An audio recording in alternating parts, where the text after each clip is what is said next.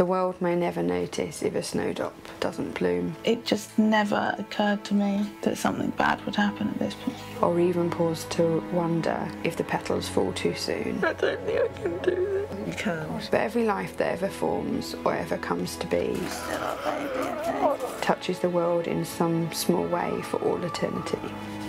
Following three couples' personal journeys of losing a child before birth. You're not alone, you're not the first person, sadly, that's gone through this. Channel 4 shines a light on the hidden crisis of stillbirth in the UK.